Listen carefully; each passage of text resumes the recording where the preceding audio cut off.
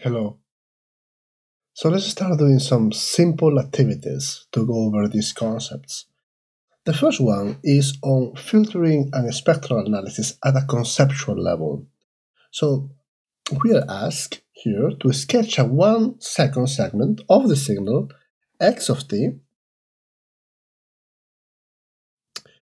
cosine of 2 pi 3t plus 0.1 cosine of 2 pi 60 t, and then we have to do some filtering and spectral analysis. Now, in this case, it's very easy because the signal is already sinusoidal. So if we were to start with a sketch,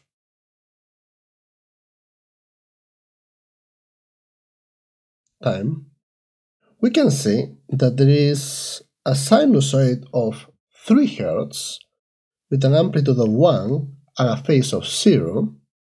And then there is another one of 60 Hz with an amplitude that is much smaller. And so this is going to look something like this. If, if I were to draw the first one here, one cycle, two cycles, three cycles. If this is one second, let me actually this. This is one second. We see that we have one, two, three cycles in one second. That will be only this part here, right? But there is another component that is much smaller, at 60 hertz. So that means in one second, we should have 60, 60, 60 cycles. And if this is an amplitude of 1, it will be basically one tenth of that. So it will be really one, two, even smaller than that. So I'm just going to do here 1, 2, 3, 4, 5, 6, 7, 8, 9. So it will have, if we are just conceptually sketching it, we can do then maybe a MATLAB sketch to look at that. But this is how this signal looks. You see a low frequency component of 3 Hz and a high frequency component, maybe due to 60 Hz line, line noise, like that. So that's the sketch part of it, um, rough sketch.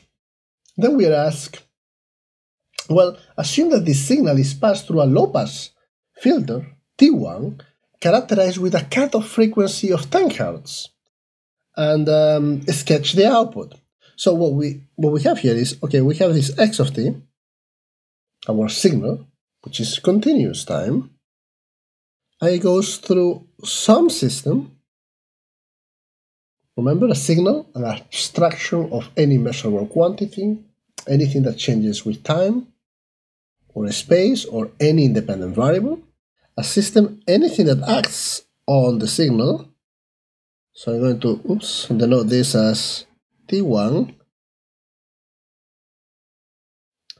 and we have a y of t or, or, or one, y1 and this is a low pass filter meaning it's a filter that allows low frequencies to go through but it cuts through but it cuts cuts off the high frequencies. And so if we have a low pass filter something with a frequency response, let me use a different color for this, like this, and this is an ideal one. Low frequencies go through and then they are cut. This is frequency, and this is 10 Hertz.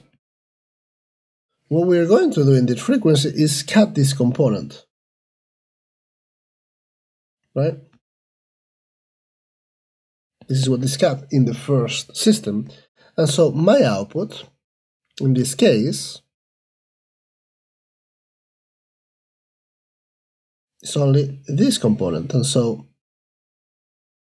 if the 60 Hertz was noise, like line noise, you could think, okay, you just filter the signal, 1, 2, 3, 1 Hertz, T, Y1 of T, in order to clean this, like any other physical filter, in this case we have an electrical filter, that filters something that is unwanted of the signal. In this case, what was unwanted was the high frequency components because the noise was there.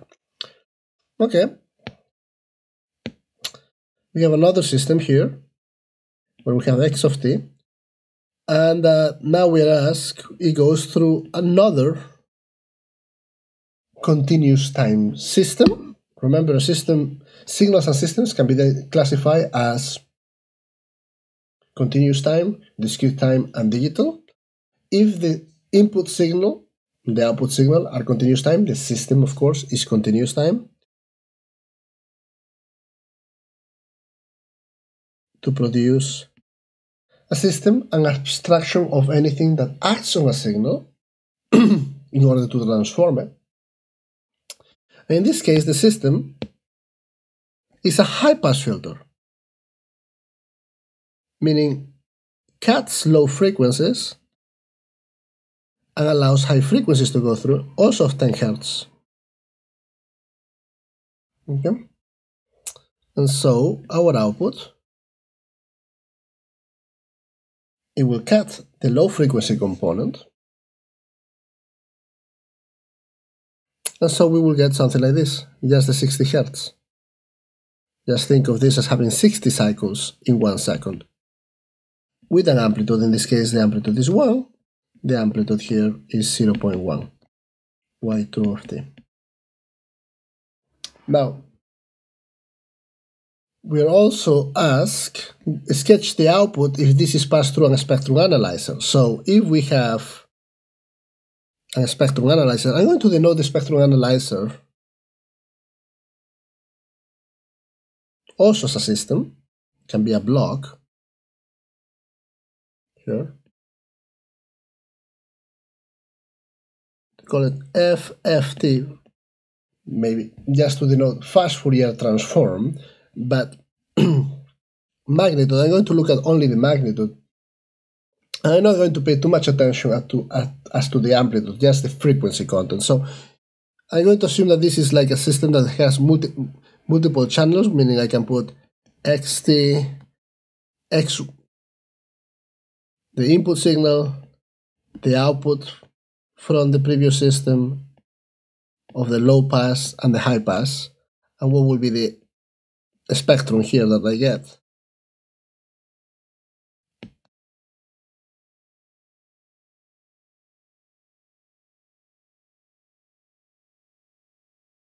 Let's plot in the magnitude. I'm going to do a plot. So in the first component, the first one, we will see something like this the spectral analysis. Spectral analyzer gives us the frequency content of the signal. So, so it will be as a function of frequency.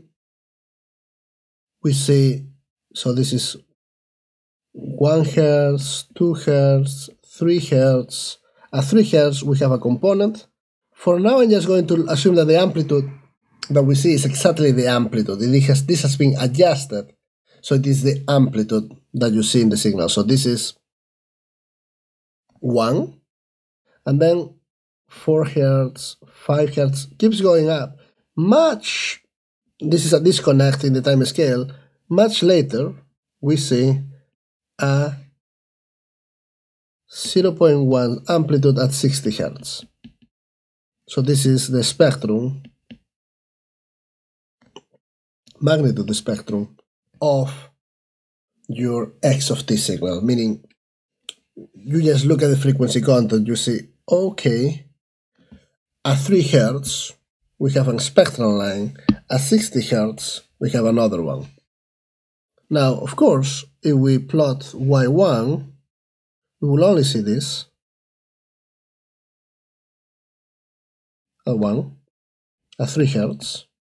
This is the spectrum for, because that's the only component that we have in this signal here. And in the other case, there is nothing now at 3 Hz because it was filtered by the high pass filter, and we just have here something at 60 Hz of an amplitude of 0.1. Now, later in the course, you're going to see videos where we can look at any signal and be able to do a spectral analysis, not a simple signal like this, but the fundamental concept is the same. You have a signal, you are decomposing it into a sum of sinusoids. With, you can look at a spectrum analy- with a spectrum analyzer, or in our case, the ideal spectrum analyzer for continuous time signal is going to be the continuous time Fourier transform. That's our spectrum analyzer. Or for discrete time signals, the discrete time Fourier transform. Or for digital signals, the digital Fourier transform, which we will implement in DSP processors practically as the fast Fourier transform. Effectively, what does it do is you put something in, and you, without having to do any Fourier analysis, the spectrum analyzer through the fast Fourier transform algorithm, it gives you something that looks like this. It gives you the spectra. Okay, and that can be a, a signal that's very complex that does not look like a sinusoid. It can be your speech, for instance. You're going to see the spectral analysis of your speech.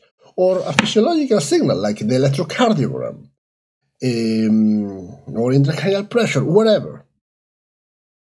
You don't need to do it mathematically because the fast Fourier transform does it for you. But you need to understand the fundamental, how the fast Fourier transform works. And to do that, it is helpful to start with a simple example like this, where you could just see that the component is 3 hertz, 60 hertz. Therefore, yes, you have a spectral line at 3 hertz, at 60 hertz. If you take it through a filter, that is a low pass filter, only allows the low frequencies through, you will clean, meaning remove this high frequency noise, if it is that indeed the noise, and so you will only see that the spectral line in the spectrum, or you pass it through a high pass filter, the low frequencies get cut, the high frequencies go through, so you only get the high frequency through and the spectral line. And this is very basic, very fundamental, very easy mathematically, you can do the analysis yourself just visually. But it illustrates a lot of what we are going to be doing with more complex signals, and then how to create these systems that right now they are just conceptually defined, especially as digital systems, and especially as finite impulse response filters and infinite response filters, although we will also then do some practical applications perhaps of adaptive filters too.